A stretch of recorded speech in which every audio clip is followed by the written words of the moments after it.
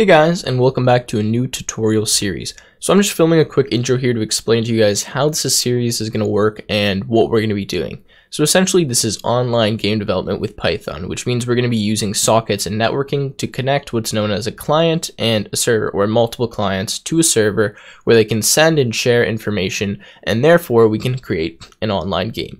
So we're going to start off with just the absolute basics and just get shapes, for example, like if I move a shape on my computer, um, it moves a shape on your computer, like if you're the other client. And then we'll start getting into some more advanced stuff where we create a legitimate game and start sending mass amounts of information to the server and back to the client. And I'm expecting this series to be I want to say like 10 to 15 videos long. I don't really have it completely planned out as of filming this intro, uh, but if there is any feedback that you guys have for me while we go through, there's anything you want to see, please make sure you let me know. So essentially what we're going to do today uh, in this first video is I'm just going to show you guys uh, how we can create like a very basic client. And then in the next video, we'll go to a server and then we'll connect those client and server together. And then we'll start moving into more advanced things, um, like how we can get the game running on multiple machines and all of that. So we'll start uh, really simply by just getting everything working on our local network. And then once it's working on our local network, we'll deploy that to an external server, which will allow us to play from anywhere in the world, not just against people on our local network. So I'm just going to quickly get into this video where I'm going to show you guys an example of what an online game looks like with Python. It's something that I've personally created. And then we'll get into writing a bit of code. And in the next videos, we'll do most of the uh, serious coding. Okay, so what I'm showing you right now is actually an online game that I created with Python, Pygame, and networking. And this is similar to something we're going to make, obviously not as advanced, uh, but it works on the same principles. So essentially, I have what is known as two clients. Now, if you don't know, the way that any online game works is we have multiple clients connecting to one main location, which is known as a server.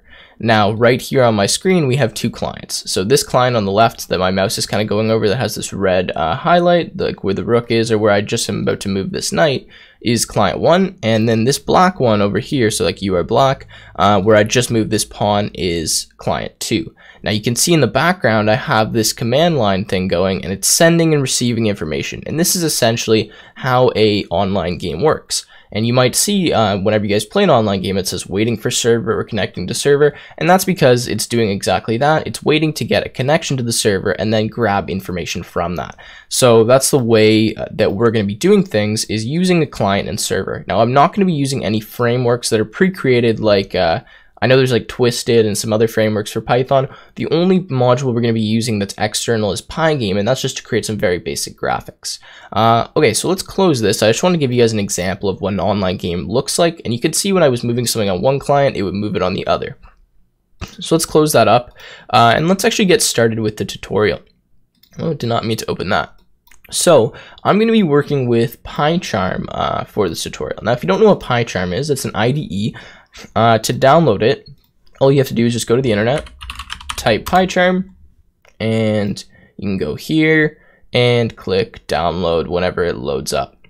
Now, if you guys don't want to use PyCharm, that's absolutely fine. You can do everything using the standard editor like IDLE, you could use Atom, you can use whatever you want. Um, but if you want to follow exactly with the tutorial, I'm going to be using PyCharm. Now, the next thing we're going to need, um, other than IDE, I guess you don't need PyCharm, is we're going to have to install Pygame. Now for 90% of you, the way that you're going to be able to install Pygame is just by going to command prompt, uh, loading it up like this, and just typing pip install Pygame, and then hitting enter. Now, uh, if this doesn't work for you, I'll put a card in the top right hand corner of the screen right now, which tells you where you can go to install Pygame. Uh, and I have a video explaining you exactly how to do this, and if this command doesn't work for you, you can follow that video and I'll explain to you how to do that. So once we have Pygame, then we're ready to actually start writing a bit of code.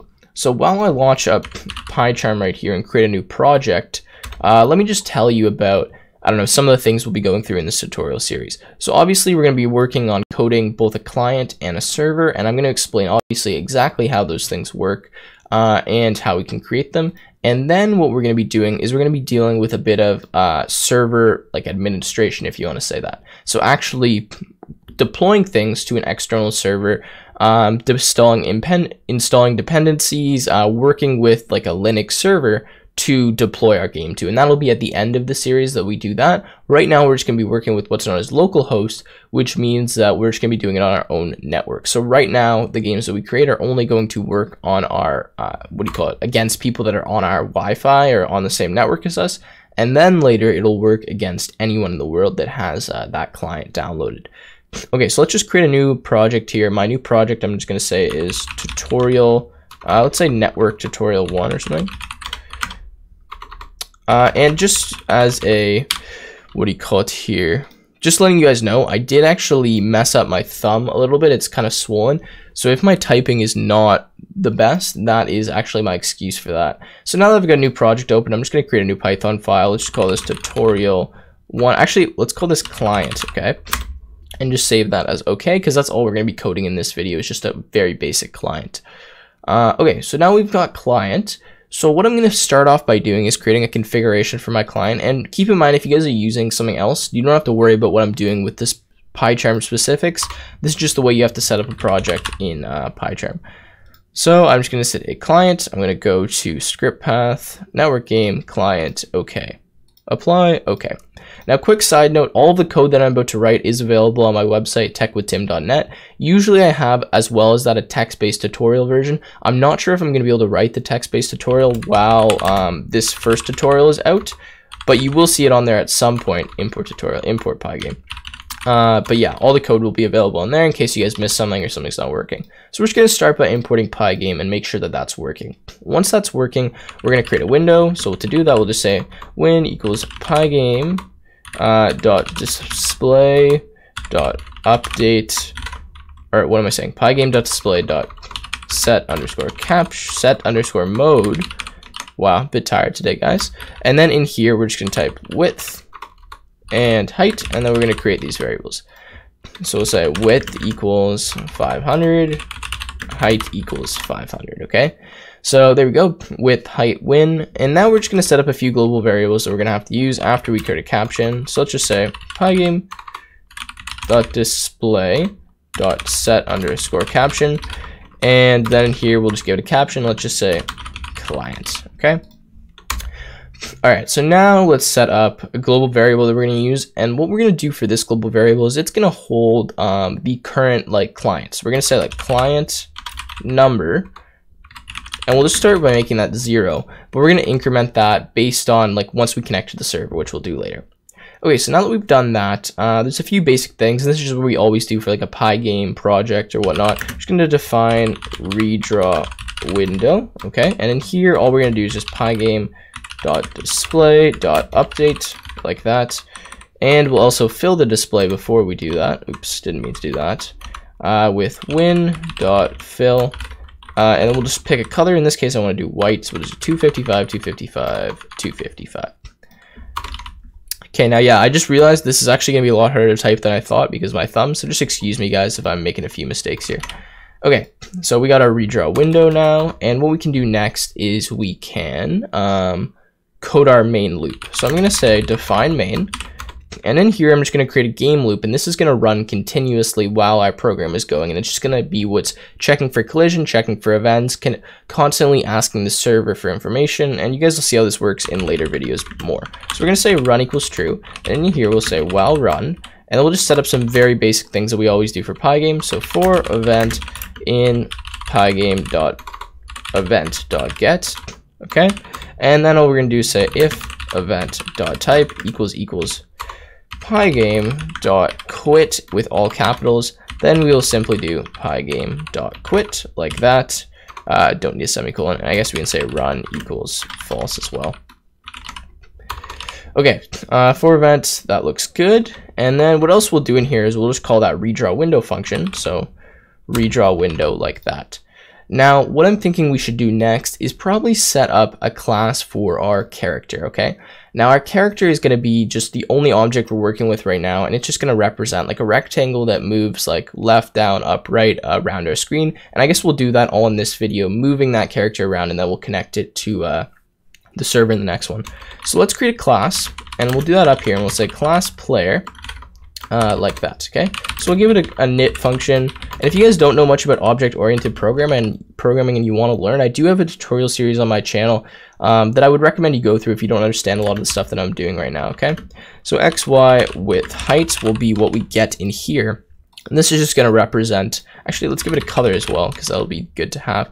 xy with height color. And yeah, this will just represent kind of our player and what variables they're to have. So we'll pass these values in when we create a new player. So self dot y equals y. This is very straightforward. Self dot width equals width. And self dot height equals height. And finally, self dot color equals color. So these are just our initialization here. Uh, this is what we're to use when we're drawing the character, when we're checking for collision or stuff like that. Um, and what I'm also going to do to just save us a bit of time in the future is I'm going to say self.rect equals, and then in here, let's do this, okay? So x, y, width, height, like that, okay? And this will just make it a bit faster when we're trying to draw our character. So the next thing we're going to need is define draw. Now in the draw method here, we're going to take a window, so we'll call that win. And all we're going to do is just draw a rectangle that represents our character onto the screen, uh, and it'll obviously be the appropriate color. So to do that, all we have to do is just say win dot, oh no, we don't have to do that. We have to do pygame dot draw dot rect, standing for rectangle. We have to first give the window, so we'll give win. We need the color, so we'll do self dot color. And then we need a rect, which will be self dot rect. Okay, and that's actually all we need to do to draw the rectangle to the screen. Now we need one more method we're going to use, and this is going to be called move. And move, actually, I believe, yeah, we don't need to do anything else in there right now uh, as a argument, sorry. So for move, what this is going to do is it's essentially just going to check um, what do you call it, if they press like left key, right key, whatnot, how can we move them around the screen? So the way that we can do this really basically essentially is just do pygame dot, uh, what do you call it, dot keys dot get underscore pressed. I believe that's it. It might be key. Mm, might be keys. We'll see. We'll see if, which one works. So this is essentially going to give us a list of all of the keys, um, actually a dictionary of all of the keys, and essentially each key is going to have a value of either 0 or 1. Now, if 1 is true, that means we're currently pressing the key. If 0 is uh, there, then it means we're not pressing the key. So the way that this is useful as opposed to doing what we could sometimes do, which is just check for events in here, is if you're pressing more than one key at once, it'll allow you to move like diagonally or whatnot, okay? So what we can do in here now is we can just check if certain keys are pressed and then change the X and Y values accordingly. So we'll say if, um, what do you call it? Oh, I guess we should probably put this in a variable list. We'll say keys equals pygame dot maybe I feel like it's key. We're gonna go key for right now. Pygame.key.get underscore press. We'll say if keys and then pygame dot k underscore left, standing for our left arrow key, and that's all we need to do for that one. And then we'll say if keys and then pygame dot k underscore. Is this should this be all capitals? I think it should be. Uh, k underscore right, and then the next one. If keys pygame.k underscore up. And then our last one obviously is down. And then we'll change our values accordingly inside of these if statements. So pygame.k underscore down. Okay, so left, right, up, down. So if we press the left arrow key, obviously what we have to do is subtract from our x value. So to do that, we'll just say self.x minus equals self.vel. Now, val is something we need to define, so let's do that up here. Self.val equals, and let's do a value of like 3 for right now. Okay, so if we're going right, we need to add to our x, so we'll do this very similar. So self.x plus, plus equals self.val. Okay, if I could type that correctly. And then to go up, we're going to subtract from our y value. So self.y minus equals self.val. And to go down, we'll do self.y plus equals self.val. And that's the way the coordinate system works in Pygame. Our coordinate's actually at the top left hand of our player or our screen. So if we want to go down, we have to add to it. And then left and right is the same in terms of subtracting and adding. Okay, so that should successfully move our player. Uh, we could add like a jump and stuff in here another time, but for right now, that's all we need. I'm trying to think of anything else that we could do right now. Um, we should probably create a player object and draw that to the screen just to make sure everything's working. So to do that, let's create a player. Um, should we do it up here? Let's do it right above our main loop here, okay? So we're just to say, or actually, we'll do it inside the main loop. This will work better. we'll say uh, P standing for player, just equals player, and then we'll give it some values, need X, Y with height color. So for X, Y, we'll just start them at like 50, 50, and then for our width, let's just do 100 by 100 so he's nice and big and we can see him. And then we'll do a color of green. So that would be red, green, blue, like that. So 255 for green. And then what we're going to do, do actually is we're going to type in here, insert in redraw window, we're just going to pass P to our uh, redraw window so that we can draw him. And before we do that, we'll call p.move. And what this will do is move our character based on what keys we're pressing. So inside redraw window, let's add a player, um, what do you call it? Argument, attribute, whatever you want to call that. Um, sorry, parameter, that's the correct name. And then we'll just say player.draw, like that. And we'll pass win in here, which probably should be passed in here as well, because we do use win quite a bit. So let's do p, let's do win and then p. Okay, so let's run this now and see if I made any mistakes. I likely did. Uh, process finished. Oh, we are never calling the main function. So let's call this main function from down here so that we're actually executing that code that we wrote. And there we go. So now we have a little green square and you can see, hmm, interesting. It's not working for me to move this around. Uh, so let's check this one more time. P dot move. what is move doing? Get pressed let's just add, I want to add something here and make sure this is working. So let's, we're going to say clock equals pygame dot time dot clock, okay? And then in here, we're just going to do clock dot tick, uh, and we'll do 60 FPS. I just want to see if this is working. If not, I do know how to fix this. Um, okay, so we're not able to actually move this. Oh, I know why. So, very interesting. We are not updating this rect, but we are updating, um, what do you call it, like up, down, left, right. So at the bottom here, all we're going to do is just redefine our rect by doing self.x, self.y, self.width, and self.height. Now I'll really ex quickly explain why this error was happening. Essentially, we're defining rect up here based on the input parameters when we're creating our player. So that means we're always just constantly drawing our rectangle in the same position because we're never updating this rect variable. We're only updating like x, y, width, height, right? So we just have to redefine our rect variable every single time that we're moving, which is fine, and we can do that. So now let's see, and we can move our green square around the screen. I actually quite like the speed of this movement. Um, so yeah, so essentially in the next video, what we're going to be doing, so I'm wrapping it up here, is we'll add an, a little bit more to this client, and then we'll start working with sockets so we can connect this up to a server, and we'll start talking about all the networking aspecting then. So if you guys enjoyed the video and are you excited for the next one, please make sure you leave a like and subscribe, and I will see you again in the next video. We'll be